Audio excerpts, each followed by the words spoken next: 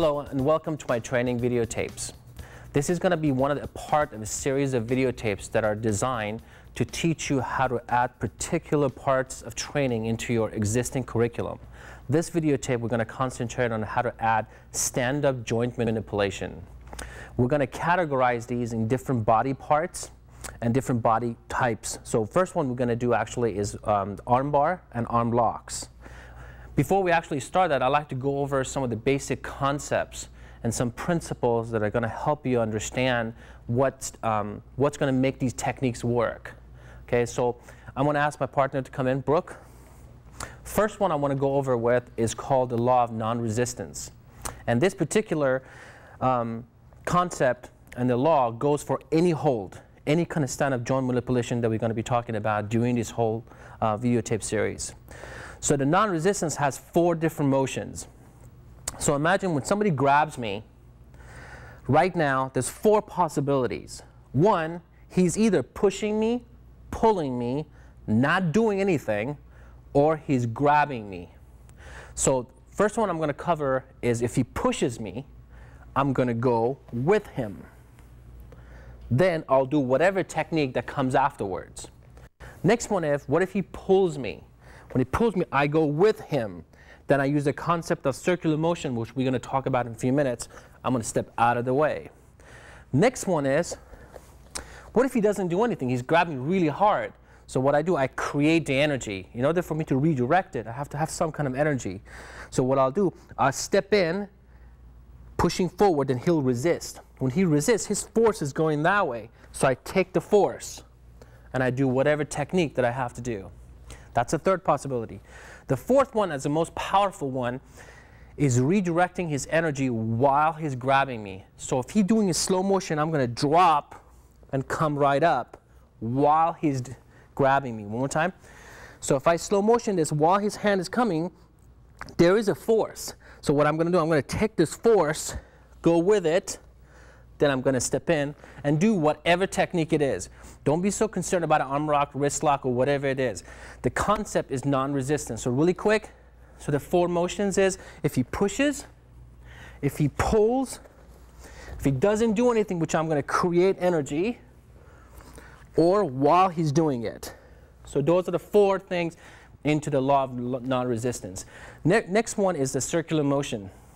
And uh, what I want you to remember in circular motion, there's going to be a lot of times, if you're doing realistic joint lock, is that the person is going to resist. And I'm going to be talking about stepping out of the way, use lateral movements rather than linear movements. So on this one, like if I do an armbar, and if he resists, what I'll do, I'll step out of the way, basically, and I'll make myself in a circular motion bring him down. So that's what I'm going to talk about um, in the holds that we're going to do. Next one is a concept of energy which travels through open fingers.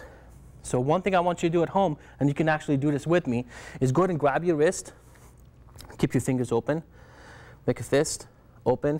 Do you feel like your wrist actually expands? And what that really means is that when somebody grabs your wrist, I always want to keep my fingers open so I can do stuff with them later. Second is the energy truly travels in open fingers. That's why, in my personal opinion, um, palm strike would have more internal damage than actually a fist. Because by doing, you causing, by making a fist, your energy is actually going back to you. Right? And open hand fingers, you're actually traveling. That's one of the reasons when you walk on a carpet, if you touch someone, the electricity goes right through and hits the other person. In order to demonstrate this, um, Aikido masters demonstrate the unbendable arm, which is no way it's a magical thing. If you train, you can do it. And all, it's, it's very simple. Okay, if you, if you watch my hand here, and I want him to bend my arm. Notice I'm resisting right now, and I'm tightening up. I'm really resisting, and he's, he's, that's good. Now, he's really strong. He's stronger than me physically, he's taller than me. He can do this. But notice this time, if I keep my fingers open and reach for that wall over there, completely relaxed, he can do that all day long. And I'm not even resisting. He will not be able to bend my arm because my energy is traveling through open fingers. So we're going to be talking a lot about energy and keeping your fingers open. Next principle that I want to go with is balance. No stand-up joint manipulation or ground or any kind of fighting situation. Nothing will work unless I throw him off balance. This goes mentally, and physically. We're just going to concentrate on the physical aspect right now. So what, what it means is that if I do an armbar, he's standing up really straight, really strong. Oh, I can do this all day long. I need to throw him off balance before I can make things work. And the way I do it, I look at his belt. If I can shake him a little bit, then I got him all the way down. And I can do whatever I want to do with him later on. But the whole point is, I need to make sure he's off balance. If he's standing up really solid, there's no way this is going to work. And you can do that by a couple different things. Like I can hit him in the thigh. I just look at his belt. The belt moved. That means his midsection is off balance. Then I can make the armbar work. Okay, so I need any kind of distraction. So that's what I mean by the balance. Next thing that we're going to go about is having a distinction between the static and dynamic training. And basically what that means is that you want to start with the static training, which means we're going to go over some techniques and it'd be like grab, put it on your stomach, open fingers, step in, take down. This is really, really important for you to later on to get into the actual dynamic moves we're going to do later on. So it's really important you understand there is a step-by-step -step doing this, which is the static training. Then we get into the actual dynamic training, which is more energy drills. The next thing is I want to make sure you guys have a distinction between the technique and the concept. So the concept that we're going to be covering um, in this videotape is an armbar or arm lock, which is really the same thing. The concept is going against a joint. And for right now, we're going to cover the elbow joint. The difference between concept and technique is that concept is like teaching somebody how to fish and giving somebody fish for dinner. So we're going to talk about a, a few different uh, techniques that I've come up with, and they've been around for years. And uh, we're going to talk about a couple techniques how to do armbar, but as long as you understand the concept of the armbar and why it causes pain, takes a person down, then we'd be fine. So it's really important you have the, the distinction between the having a technique and a concept. So again, let's go recap really, really fast, going over all the stuff that we need to do before we start training. One was a law of non-resistance. Two was circular motion. Three was understanding energy level and open fingers. Fourth one was balance, how to throw him off. Next one was the distinction between static and dynamic training. And the last one was understanding difference between technique and concept. So let's go start training. Okay, here's the first thing we're going to do. In order to make, make things a little bit easier to understand, um, I want to categorize armbar into armbar number one and armbar number two. And basically the distinction is the way my left hand grabs the wrist, which is one time is thumb up and one time is thumb under. Okay, these will be a great two ways you can actually start the training for arm bars, or if you choose to teach it, this will be the first thing that I would teach. So we're going to start by introducing you to what we call a C grip. Okay, this is called a C grip. This is actually the letter C in sign language. Okay, so the way it is, is that the thumb goes under the wrist and it rests on the wrist and the four fingers go straight over. And what happens is that I have total control over the joint. This is what we call the C grip. Common mistake in C grip is don't have holes in your grips. So you don't want to grab like this or grab like this when there's actually a hole in the grip.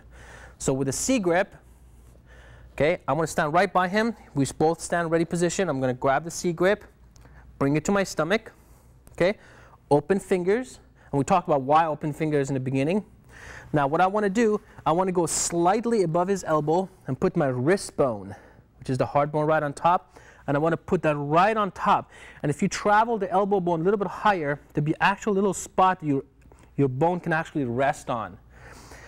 Another thing I want you to remember in armbar, just like you try to push a car, because we need pushing motion in this one in armbar, when you want to push a car, you wouldn't go right foot back and push with your right hand because that would, wouldn't give you enough force. So the way to do it is same hand, same foot forward. That gives you the most pushing power. So the armbar, what I want you to remember is that when you open the fingers, whichever hand is pushing, that foot steps forward. That makes it really easy to kind of remember. That does not mean this will make it wrong. Because this training is not about right or wrong. It's doing it the proper way and a better way to doing it. Okay, so again, I'm going to grab, bring it to my stomach, keep it against my body weight, open fingers. Step right foot forward. I'm going to go to front stance. We're going to kind of keep it classical for right now.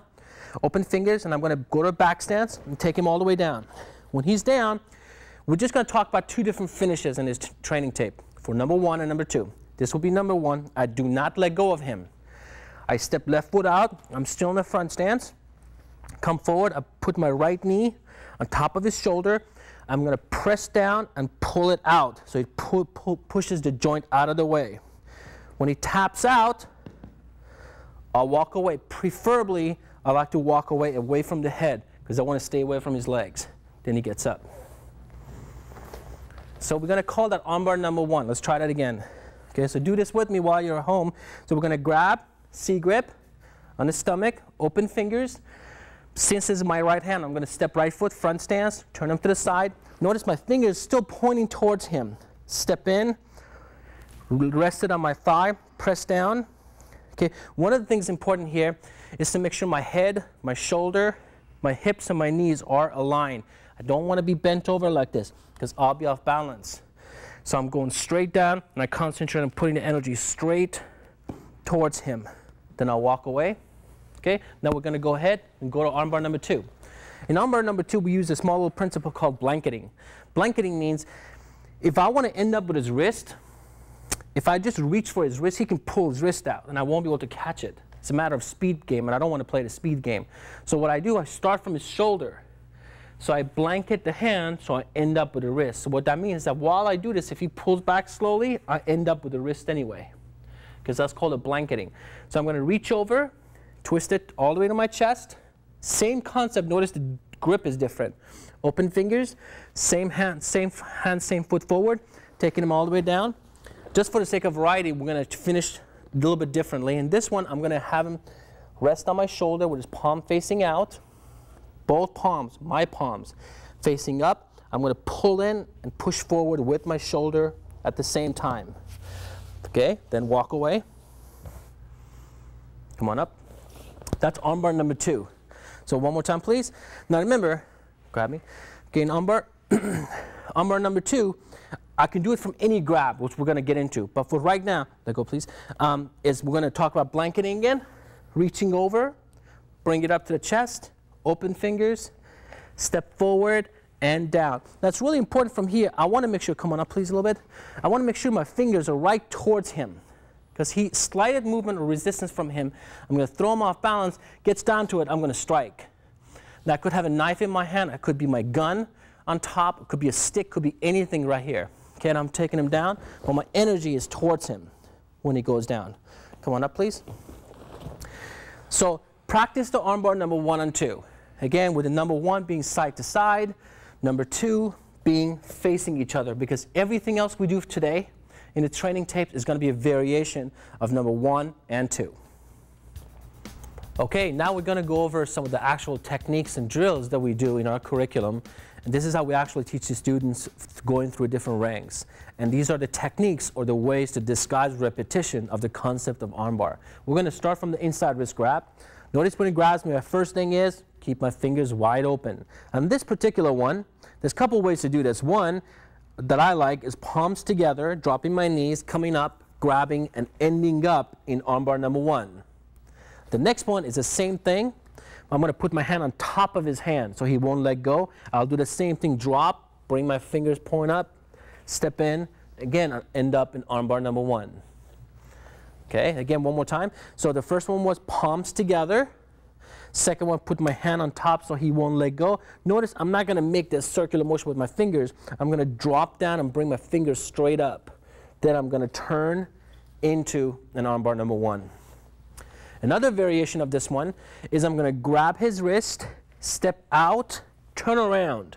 So I can strike from here, then I can end up in armbar number one again. One more time. This one is particularly good if he pulls me. So if he pulls me across, I'll use that force with him and I end up at armbar number one again. Okay. The next one, the third variation, is I'm going to grab his wrist, reach across from down here and go all the way up. And I'm going to turn the hand, I'm going to press down at the same time. So notice I'm still, it's a cutted armbar, what we call a reverse armbar. I'm going underneath the elbow at the same time. Okay, again, so from here, I don't have to reach all the way. I can grab here and just press down at the same time. If it's a really big guy and really strong, I'll go under his arm. Notice I grab, go under, and pick it up. So I'm still doing the same concept. I'm just doing a reverse arm bar, going straight across. So again, The variations were palms together, putting the hand on top. We're going to duck under and end up with an armbar. We did grabbing the collar, pressing straight forward, or grabbing real hard, reach and press straight up. So those are the variations from the inside wrist. Now let's go to outside wrist. Come on this side, look, please. These are a little bit more variations starting from this one. We're going to start armbar number one. So I'm thinking, how am I going to from here end up in armbar number one? So the way I do it, see this right here, this little loop that I have between my index finger and my thumb. So I'm going to drop, put his hand resting, kind of cradle the wrist, come up and give it to my hand. Now I got armbar number one. Again, so I drop down, give it to my other hand. I got armbar number one. I can reach over, blanket, bring it up, at the same time break his thumb. Notice with my wrist, end up in armbar number two. Notice a different grip. One more time. So I'm going to drop, come up, break the thumb, step in to armbar number two. Okay, the next one is many diff different variations of this. Next one I'm going to do from here, I'm going to get my thumb to twist out. Notice I'm going out. I'm going to re-grab the wrist and twist it. One more time. So I'm going to step out and re-grab it and twist it. Now, I'm going to step back.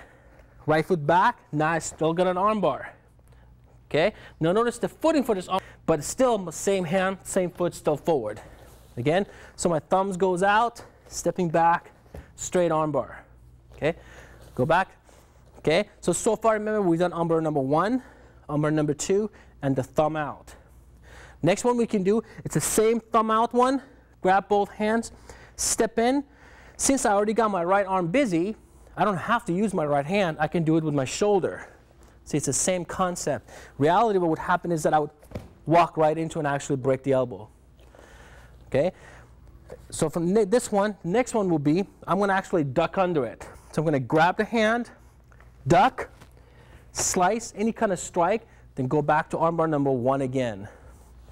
So from here like this again, if he pulls me, I'm going to go with him, use the force, and end up in armbar number one so far. Okay? From here like this, also if he's really strong, notice I'm creating a little opening. I can grab, duck, with my elbow press straight down. Again, so I can go here, go under, and press straight up. That's reverse armbar. Okay, so those will be all the different versions from inside wrist and from outside wrist. Okay, so let's go over the, all the variations of the armbar again from outside wrist. Remember the first one was actually cradling the hand and putting it on top to go to armbar number one. The next one we did was going to armbar number two. Next one we did, we ducked under, turned around, and went to armbar number one. We did another one with a thumb out, two different versions. One was stepping back to an armbar, one was stepping forward using my shoulder. And we also did one that we went duck under and using my shoulder to press up. These are going to be some of the drills we actually do in our classes. I'm going to cover some double wrist grab from behind, from the wrist, from the sleeve. I'm going to go over some defenses against a reverse punch, some of the things we can do by opening up the armbar and not thinking you can only do it with your arm. You can actually do it with your leg. And I'm going to go over some belt grabs. So let's start with double wrist from the back. Okay? So these, these again, these are all ways to disguise repetition. So the first one I'm going to do from here like this is I'm going to grab the wrist. Notice with my left hand, I'm going to grab I'm going to step by and behind him, and I end up with open fingers. Now I can take him straight down. That's a variation of number one. Now if I choose to finish it, I have to spin around and finish it still with same one, which is armbar number one. Come on up, please. I'm going to do that for you one more time. So from here like this, I'm going to go this way now. I'm going to grab it, keep it on my back, bring it up and over, and turn him straight down. That's still armbar number one. Okay, next one from here like this, I'm actually going to bend my elbows, step out, open the fingers straight up, and pass this hand to the other one. Step back, and I end up in an armbar again. One more time. So from here, I'm going to pass it to the other hand and to an armbar. Another way to disguise repetition is that from here like this, I'm going to step back with my elbow, and I'm going to get rid of his hand. When I get rid of it, Now I'm just going to treat it like an inside wrist. I can put my hand over and take him straight down. One more time.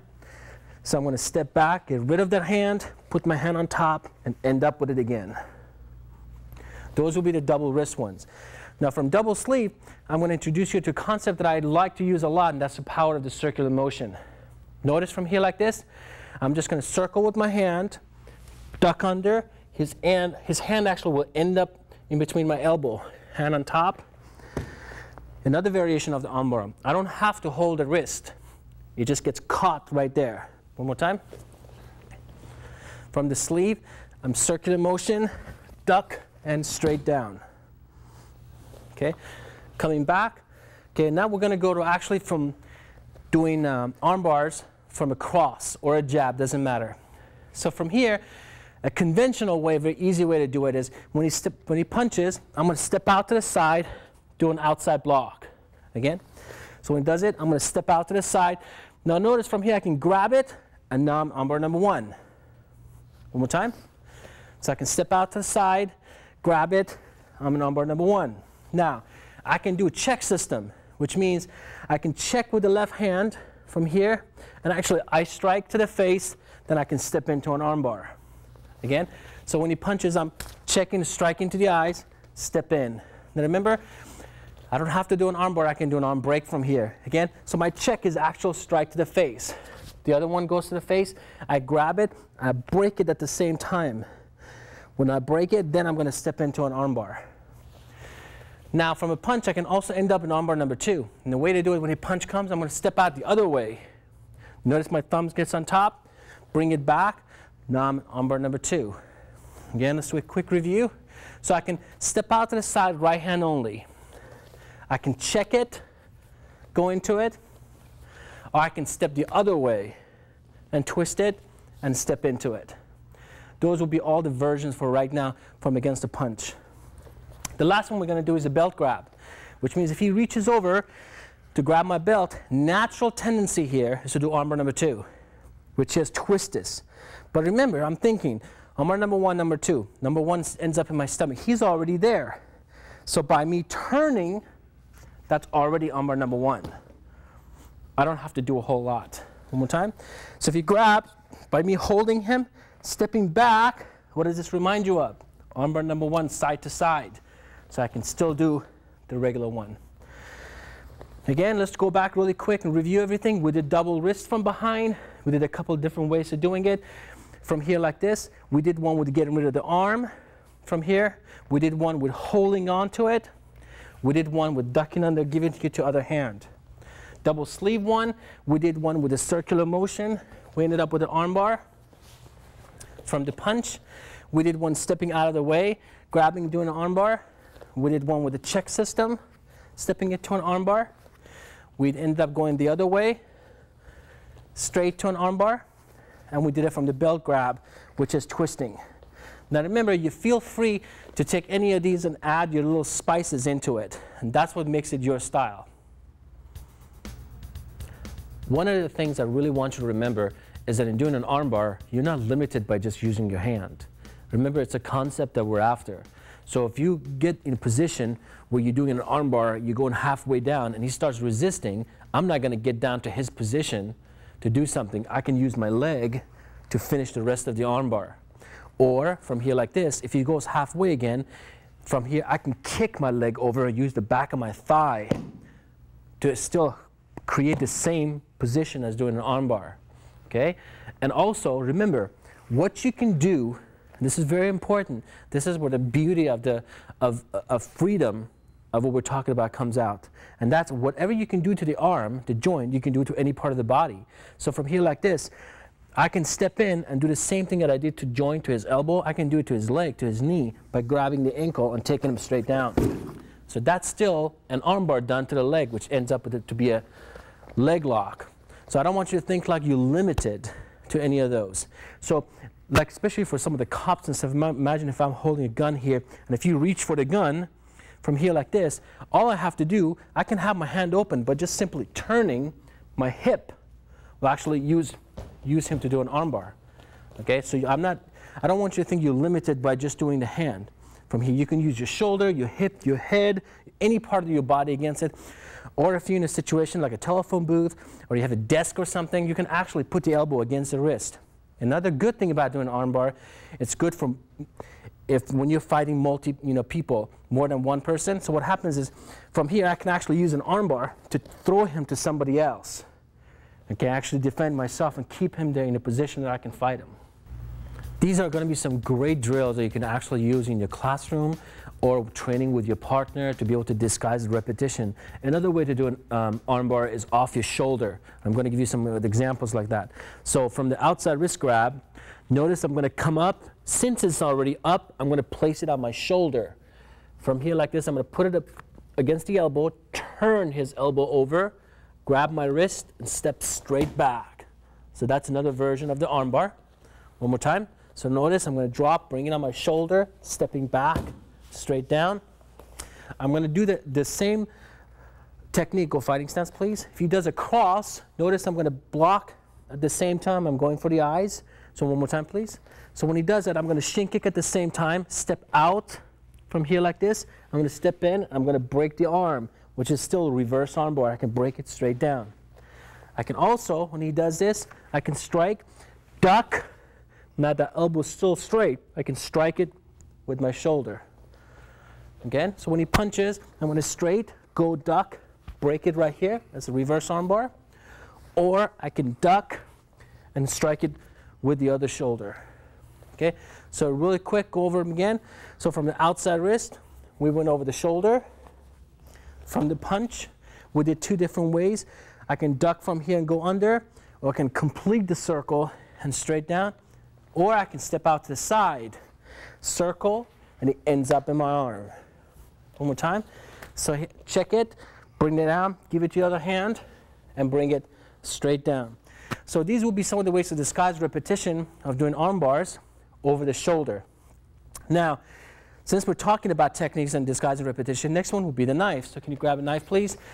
Again, with a live blade or with the practice knife, if he steps in, my two options are, one, I'm going to step out of the way. So first thing I'm going to do. Now, I would not want to step into do an armbar, obviously, because his blade will go right into me. Okay? So some, some a couple of things I'm going to do. I'm going to step out to the side. I'm going to attack the arm, break it. So I'm going to break it, get out of the way. So I'm completely away from the knife. I'm going to do a disarm, stripping, which I'm going to cover in one of my next tapes, how to um, actually strip the knife out. I'm going to strip the knife and use the knife to actually go to armbar number one. Watch that again. So my hands are up. I'm stepping out to the side. I'm going to break it and get out of the way. Attack the knife and push it straight down. So I end up in armbar number one. I can do stuff to actually end up in armbar number two, and that's by doing cross blocks, reaching over, same concept again. But I wouldn't want to bring it to my chest for obvious reasons. So this time, I'm going to bring it up, twist it, attack the knife towards him, turn it, and I got armbar number two. From here, actually, use a knife against him. Again, remember, you're not limited to what we're teaching you actually here. You can just broaden your mind and think about what ifs, and that's how you're going to see the beauty of this whole thing. In the beginning of the tape, we mentioned a couple of different things. One of them was understanding the difference in static and dynamic training. And this is where my love and passion comes for the martial arts is through the dynamic training because I truly believe it's more live. So the dynamic training, one of the drills that we do is called the armbar drills, and the other one is called the tie in and tie out drill. Um, we're going to start with the arm, basic armbar drills, which we do often in our classes. So on this one, the first concept before we actually start is the clock principle. So imagine your target and your opponent is always 12 o'clock. And I'm standing in the middle of a clock. So that would be 1 o'clock, 2 o'clock, 3 o'clock, all the way to 6 o'clock, and all the way back to 12. So the first thing I'm going to work on is understanding the clock principle. So if that's 3 o'clock, I'm going to step with the closest foot and step back to the other back. So from here like this, if I want to go from 3, go to 9 o'clock, I'm going to step left foot and right foot back. So if, if my opponent is over there, please stand over there. If he attacks me, I'm going to go 9 o'clock, stepping out to the side. Or I'm going to go preferably 11 o'clock, which is right by him. And I end up, go back. Or if he steps with the left, okay, from here like this, I wouldn't, preferably, I wouldn't want to go this way because I'm walking into his other hand. So when he does this hand from here like this, I'm going to go to one o'clock. So it'll be right and left foot. Now, after understanding the clock principle and drilling this over and over again, we'll get into the armbar drills. Now, I want you to make sure you understand, just because this drill could be applied in any, any particular joint lock. Right now, we're just going to talk about armbar. He's going to come straight down motion, and my both hands will go from here like this, in a circular motion, go with him at the same time. One more time, please. So I'm going to step one o'clock and get him in armbar, but I'm going to let him go. He stands up. Now he's my 12 o'clock again. Maybe this time he'll do left. When he does, I'm going to take two steps and get out of the way. Let him go. He comes up again. So all I'm basically working on right now is keep keep going. I'm just going to sidestep him at the same time. There you go. And I'm just getting myself into the armbar position. That's a regular one. Now, instead of going like this, he could be doing a straight punch to me. I would treat it the same way. So notice I'm still doing the same footwork from here. So, so far we've done straight down, we've done punch. Now while I do an armbar, he can grab my wrist. When he does, I do the exact same thing. I'm still back to an armbar. So it doesn't matter if he goes over, if he punches me, or if he grabs. I'm going to treat it the same way. Now he could also come down. I could go to an armbar and notice I'm not in a good position. So I'm going to duck and get myself in the better position. Again, he comes straight down. I go for it and go, mm, I'm going to add one turn into it. Then go right back to armbar again. Okay, this time, when I'm doing the armbar drills, he might do a spinning backhand. Okay, stop for a second. When he does, notice my hand will stick with him, cover him, and actually go with him. So if he does it again, turning, I'll go with him to armbar. Again, straight down. So we covered going straight down, come straight. He punches, I treat it the same way. He grabs, I treat it the same way. Does a spinning backhand, I treat it the same way. He comes straight down again. I duck, and I go back down. Now from here like this, not all the time is going to be that particular angle. Sometimes he might throw a hook. So watch, if he does straight down again, and this time he does a hook, okay? So from here like this, I'm going to hit him at the same time, which is watch the stop hit. So while he's hooking me, my hand comes, raises the arm, and I go back to an armbar. So if he hooks me again, look how short this distance is right now between me and him. So when the hook again, so what he does, I'm going to hit him. Then I'm going to duck. I'm going to go back to the armbar drill. Now, if he does it again, punches me, straight punch, I'm going to grab. I can do a pretzel. We covered this before. So one more time. He comes straight down. He punches me. I hold on to the wrist, and I can actually do a pretzel to him. Okay? So let's do a quick review of all the armbar drills. He comes straight down, sidestep. He punches, I sidestep. From here, he does a spinning backhand. I go with him. He hooks. I strike at the same time. Go under. He comes straight down again. I can duck and use my shoulder or my regular armbar from here. Okay? This would be a great way for you to get a whole class going and try to practice the arm bars in a more dynamic version rather than static version. Next one we're going to do, I've borrowed this from the Filipino art, which I love dearly because of the, the whole idea of dynamic training versus static. It's called a tie-in and tie-out drill, or what they call the hubud. And the way you do it is stand face each other. I'm just going to have him do it with a straight punch, uh, with a straight come downward strike. So he's going to come down. I'm going to check, raise, slap, hit. So he's going to block, raise, slap, hit. Block, raise, slap, hit. And we just go back and forth doing that. Okay? This is a great dr energy drills that you can do a lot of stuff from this energy drill. So from here, since I'm working on arm bars, I can use that force and go right to arm bars and feed him again and go back into it. So from here like this, notice I'm going right to the arm bar, coming back into it. Okay? Now from a hubud, you can also, instead of downward strike, you could punch me. So I could check, raise, slap, hit. Check, raise, slap, hit. Okay? There you go, check, raise. Now when, he, when I check it, I could go in right to the armbar. That would be a good dynamic way of doing it. And also when he does this, okay, while we're doing this, there you go, keep going. I can feel his force. One of these times with his right hand, he's gonna push me. When he pushes me from here, I'm gonna use that force. Okay, because there is such a thing as muscle memory, right? So your body will actually remember when it's being pushed. So next time he pushes the shoulder, my body will know, oh, I've been there before. It's a point of reference for me, and I'm going to end up with an armbar. Again, take these two drills and really work on them together. The hubud, which is a tie in and tie out drill, and the armbar drills, the different variation with the concept of the clock principle. In my next training tapes, we're going to break down more of the wrist locks, go actually into lock flows a lot more, and getting into the weapons. So have a good time training.